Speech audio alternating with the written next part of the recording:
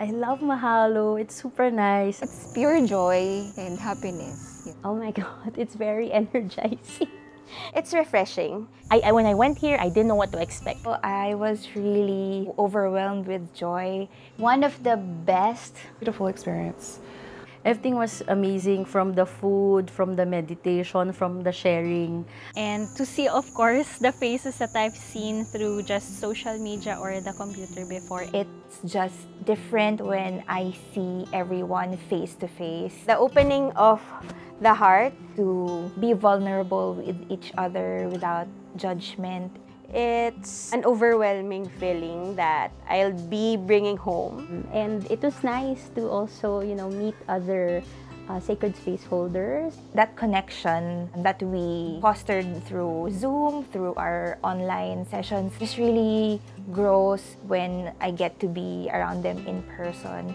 I don't know, it's just a nice reflection of like how life could be, you know, when you meet with genuine people and just being you know, surrounded by good people and just, I feel like it's just a beautiful way for me to just keep going. I love the part where we were able to meditate. The one that we have cards and we gather together with the gumamela.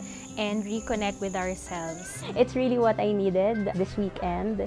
I was just really wanting to be in a place where I don't have to take care of anything. I just sit, be myself, talk to people, and that's what I had and more. It really feels great that now we are able to do it physically. I just knew that if it's something made by Kimi, there's so much value, there's so much joy, there's so much love. I'd highly recommend it for someone who needs a, a breather. I'm looking forward to having another session like this again with Kimi and with the rest of the community. Love to attend again because it's something different. It's fun. Sana maulit-ulit yung ganitong gathering. Why won't you be in that event if you know that you can be who you really are?